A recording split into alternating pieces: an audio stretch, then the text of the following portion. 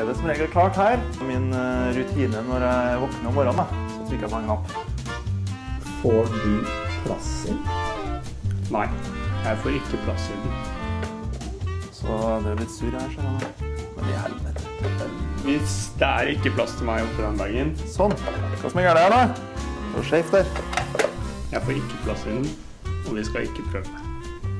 Men nå er, den, nå er den på. Trykk på knappen, og så går jeg på do. Men der får dere ikke lov til å være med. Vi, vi skal ikke prøve. Nå legger vi den bagen Jeg står ikke for det jeg akkurat har gjort.